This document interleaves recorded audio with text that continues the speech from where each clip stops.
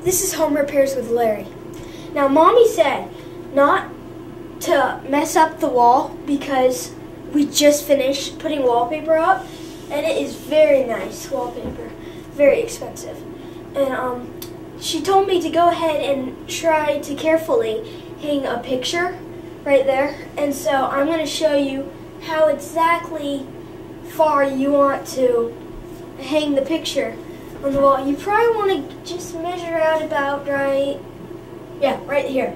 So I'm just gonna go. I'm just gonna go ahead. I've been practicing for weeks. I'm just gonna go ahead and.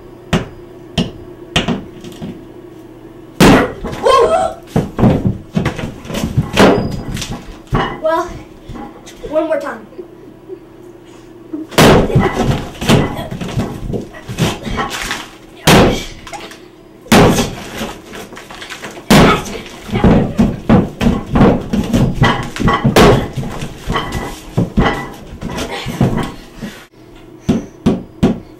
Will never notice.